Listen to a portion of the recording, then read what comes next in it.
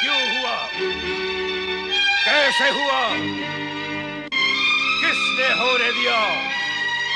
नहीं नहीं नहीं नहीं। ये अच्छा नहीं हुआ।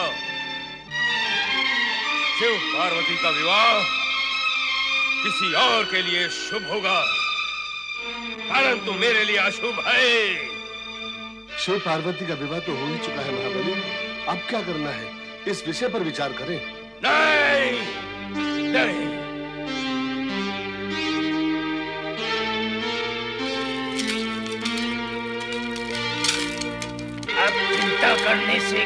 होगा महाबली। तो मैं क्या करूँ? नृत्य गायन करूँ? जब सब करूँ? या उछल कूद करूँ? क्या करूँ? ये सब करने से क्या होगा? कुछ उपाय करो असुरराज उपाय उपाय करो। उपाय। तुम ही क्यों नहीं कर लेते उपाय? करो। मैं, मैं तो केवल बता ही सकता हूँ। उपाय तो आपको ही करना होगा महाराज। तो बताओ ना फिर। शिव पार्वती का विवाह हो चुका है। पर देवी देवताओं को लौटने में समय लगेगा। यही अनुकूल और उचित समय है। जब स्वर्ग पर आक्रमण करके उस पर अधिकार किया जा सकता है। हाँ। यदि अविलंब आक्रमण करोगे तो निश्चित सफलता मिलेगी। सेनापति! सेना तैयार करो। हम इसी समय स्वर्ग पर आक्रमण करेंगे। आक्रमण हो!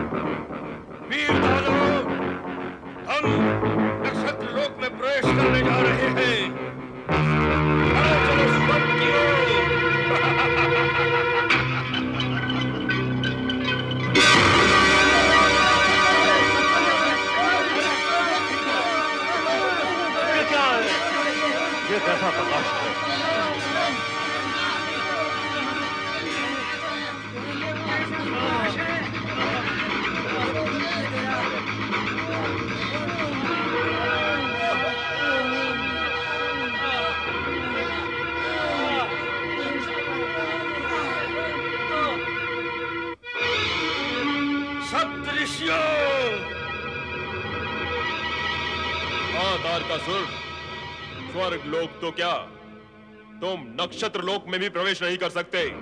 कर सकता हूँ। क्या तुम मेरी शक्ति से परिचित नहीं हो? शक्ति तुम्हारे पास है ही कहाँ?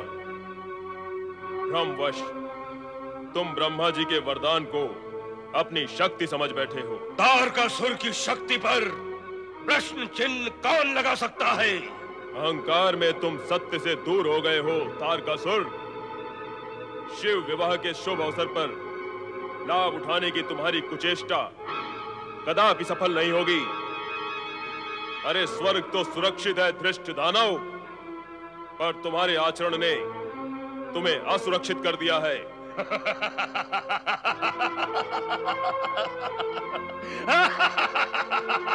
तुम्हारा ये अहंकार पूर्ण हास्य तुम्हारी विपदा का कारण बन जाएगा तारकासुर तुम देवाधिदेव महादेव से टकराने का दुस्साहस कर रहे हो। अरे देवेश्वर को ज्ञात था कि तुम देवगढ़ के विवाह में व्यस्त होने का लाभ अवश्य उठाओगे। तुम्हारे अवरोध की व्यवस्था पूर्व निश्चित है। मेरे मार्ग में आने वाले किसी भी अवरोध से टक्कर लेने का साहस मुझमें है। निर्बुद्धि तू तुरंत चला जा यहाँ से। अन्यथा तू पृथ्वी लोक कभी नहीं पहुँच पाएगा। चला जाऊँ। जिस प्रयोजन से मैं आया हूँ, उसे संपूर्ण किए बिना ही चला जाऊँ। शिव पार्वती के विवाह को संपन्न करा के तुमने शिव पुत्र की उत्पत्ति को संभव बनाया है। अर्थात मेरे वध का आयोजन किया है तुमने। मैं भी तुम लोगों के विनाश का आयोजन करता हूँ। वीर दानवों टूट पड़ो इन मुट्ठी भर ऋषियों पर।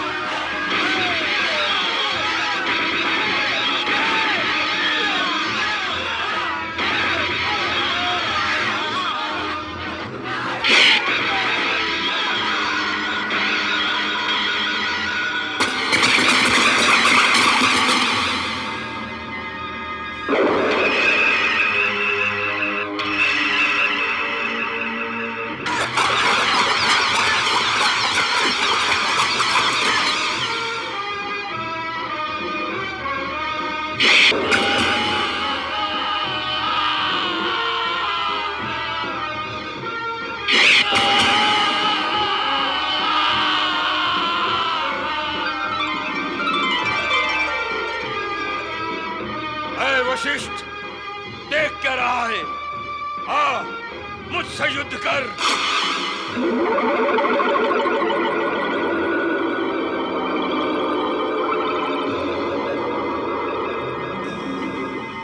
मूर्तिवत मंत्र से मैंने तुझे स्थिर कर दिया है।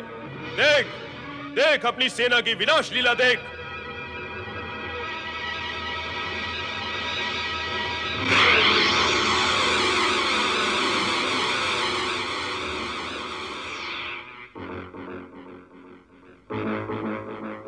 स्थिर मंत्र से मैं मुक्त करता हूँ तुझे। अपनी पराजय स्वीकार करके अपने प्राणों की रक्षा कर। जा चला जा यहाँ से। तारकासुर असुर सम्राट और पराजय। नहीं नहीं। दुष्ट तू ऐसे नहीं मानेगा। ले ले ये देख।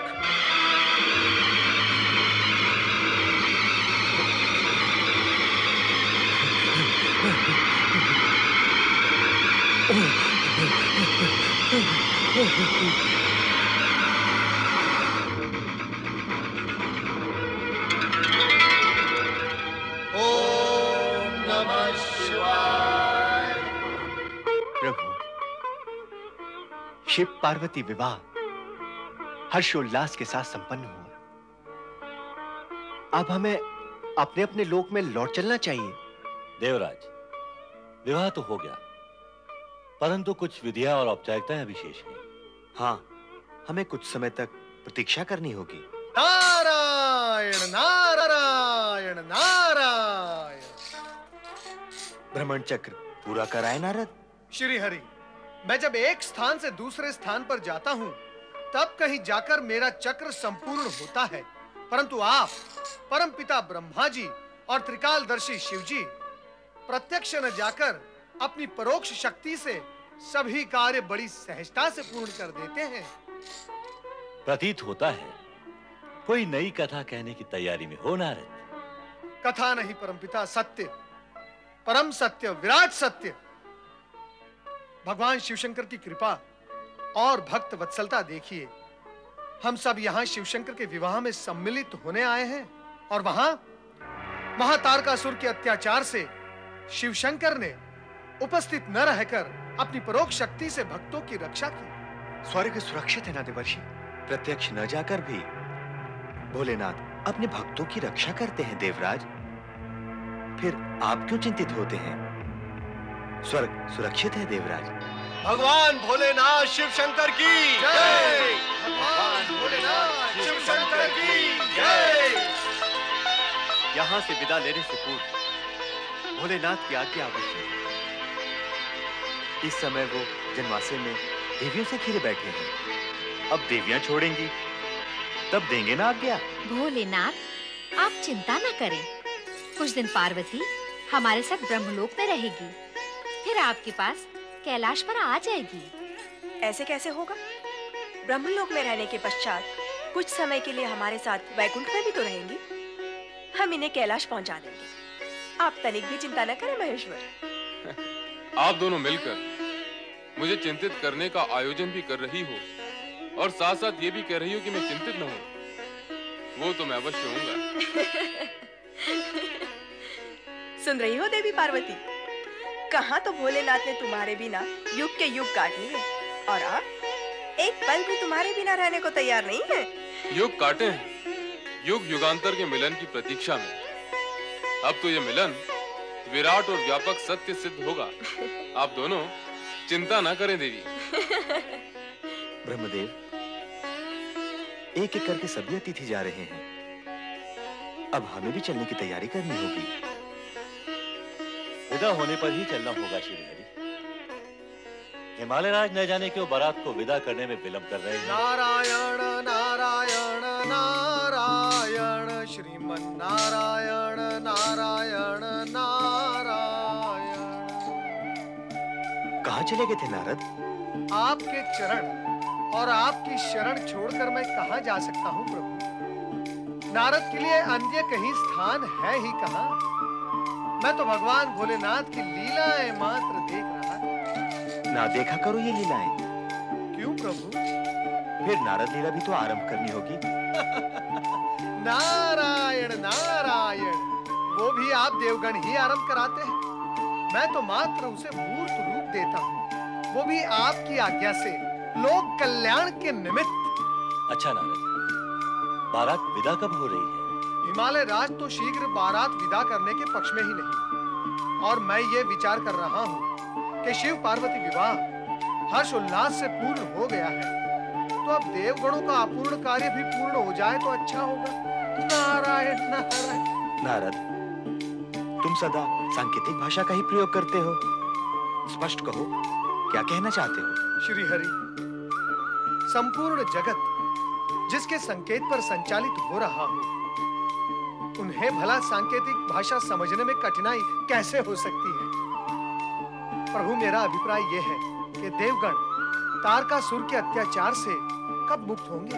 सभी कार्य यथा समय पूर्ण होते हैं नारद। ये कार्य भी समय आने पर ही पूर्ण होगा। नारद देवराज इंद्र और देवताओं के प्रतिनिधि बनकर तुम उनके पक्ष में विचार नहीं कर रहे। क्या उन्होंने तुम्हें इसी प्रयोजन से यहाँ भेजा है? नहीं नहीं प्रभु। मैं तो अपने मन की प्रेरणा से कह रहा हूँ ये। तारकासुर के अत्याचार से देवगण की रक्षा करनी ही चाहिए। श्री हरि विष्णु जी सृजनहार ब्रह्मा जी एवं देव ऋषि नारद मेरा सादर प्रणाम स्वीकार करें। हिमालय राज सर्वप्रथम आप ये बताएँ कि बारात कब विदा कर रहे हैं? उसी विषय में आप सभी से निवेदन करने आया था। इसमें निवेदन कैसा? हिमालय राज ये तो रीति है। विवाह के पश्चात विदाई तो होती ही है। आज का मुहूर्त शुभ है। यह कार्य आज ही संपन्न करें हिमालय राज। पर मैं तो ये निवेदन करने आया था कि शिव जी व सभी बाराती और कुछ दिन के लिए हमारा आतिथ्य स्वीकार करने की कृपा करें। नारायण नारायण। हिमालय राज आप पुत्री मोह से मुक्त नहीं हो रहे हैं। देव ऋषि नारद संतान के मुँह से कोई पिता मुक्त नहीं हो सकता। पार्वती का विवाह शिव जी से हो चुका है पर्वतराज अब पुत्री के प्रति अधिक मोह उचित नहीं। कन्या को तो पराय घर जाना ही होता। है अब आप शिव पार्वती को सहर्ष विदा करें। मैं भी तो यही चाहता हूँ ब्रह्मदेव। फिर बाधा कहाँ है? पार्वती की सखियों की स्वयं मैना रानी की इच्छा है कि उनकी पुत्री व जमाता कुछ दिन और उनके संग उनके सम्मुख रहें। ऐसा करना मेरे अधिकार में तो नहीं है। इसलिए आप सबसे निवेदन है कि आप इस विषय में मेरी सहायता करें। हा हा हा हा। क्या निवेदन है हिमालय राज आ हा आपके इस नम्र निवेदन में बंधन है बिछो की वेदना है और संवेदना भी। जिस भाव भाषा और मुद्रा में आपने अपना नम्र निवेदन प्रकट किया है हिमालय राज, इस समय यदि आप भगवान श्री हरि विष्णु से वैकुंठ और परमपिता ब्रह्मा जी से ब्रह्मलोक मांग लेंगे तो वो दे भी देंगे। जिस सरल सहज और सुबोध भाषा में आपने अपना निवेदन प्रकट किया है उसे अस्वीकार करने की कठोरता भला कौन कर सकता है? है न प्रभु? मैंने सत्य कहा ना परमपिता? नारायण तुम अपने पिता पर भी अपनी लीला चलाने से चूकते नहीं हो। नारायण नारायण। परमपिता आप भली भांति जानते हैं कि हम सब की लीलाएँ शिव लीला के अधीन है।